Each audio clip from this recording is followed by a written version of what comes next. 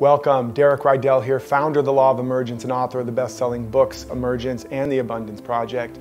And I am super excited to talk to you about what I think is one of the most important principles that we can ever master and one of the most missing pieces to people that can't quite make progress, get momentum, and succeed. And I call it the commitment code. And it's all about commitment. And most of the time, you know, you might be somebody that has got a lot of ideas, uh, you know, and you just don't know which one to do. Or you might be somebody like me, there's a lot of things you're interested in and you're afraid if I choose one, I might be the wrong one and then I'm gonna miss out on the others. Sound familiar? And that was me years ago where I was, I had abilities at many different things. You know, my mom, God bless her, told me when I was young, Derek, you can do anything you put your mind to. And it turned out she was kind of right and it was a curse because then it was like, which one should I focus on? You know, I used to wish I only had one interest, one passion, and I had many. And after struggling for so many years, doing a little bit of a lot and making a little bit of progress, but never quite getting momentum, I had this deep realization that that was my way of playing it safe. That was my way of really not trusting life. That was really a, a daily affirmation. I don't trust life. I don't trust myself, so I'm gonna have a lot of irons in the fire just in case life doesn't really have my back and just in case I'm a complete idiot and I'm picking the wrong thing. And I realized that was what I was creating. I was constantly praying and affirming that unconscious prayer that I can't trust myself and I can't trust life. And it said, pick a lane, pick the thing that has the greatest charge, and if you give it your all, if you commit to it fully, even if it's the wrong thing, it'll still eventually guide you to the right thing. As the old axiom says, to he or she who is wrong in mind, they can do all the right things, it's going to still turn out wrong.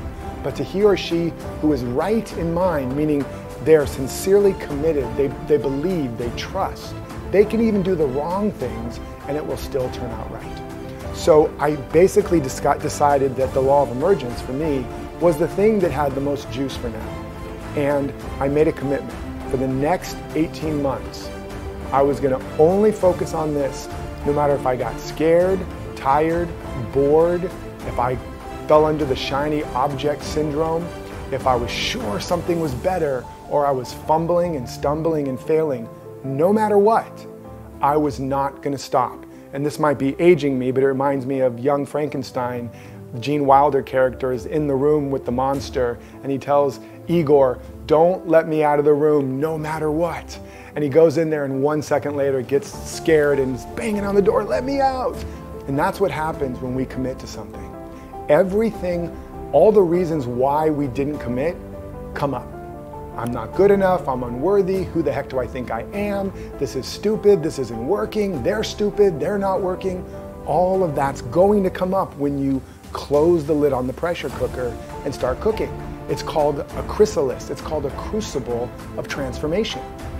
As a result of doing that work, absolutely every reason that I was afraid of, of not making it, every reason why I hadn't made it, my lack of focus, my lack of discipline, my lack of follow through, procrastination, all the ways I diluted my power to play it safe, all of that came up, sure enough. But because I'd made that commitment, I got to do the work and heal and release and integrate all of the unconscious patterns, the hidden shadows. And so not only did I have more money and more possessions at the end of that 18 months, but I had more of me finally come out and I had a greater possession of myself. I had developed the character, the character of the kind of individual that is successful. And this is the key thing I want you to understand about commitment. Your conditions don't determine your destiny, your character does. That's why Confucius said, All men are alike, it is their habits that separate them. Conditions don't determine destiny, character does. Your character is made up of your habits. Your habits are created by what you commit to consistently, and your commitment is based on your core value and vision. So you want to have a strong vision anchored in your deepest values. And then you want to commit to a path and a practice for a period of time no matter what. Remember that old thing, to the moon or bust? That's what you want to do. And when you do that, you will develop the character that puts your success on autopilot. I'm telling you what I know. And if you like this and you want to develop that kind of character and you want to begin to create the life that you deeply desire and deserve, make a commitment now. Click on the link below, get some more training so I can support you in finally creating that life of your dreams. And until next time, remember to live authentically, love unconditionally, and follow your destiny.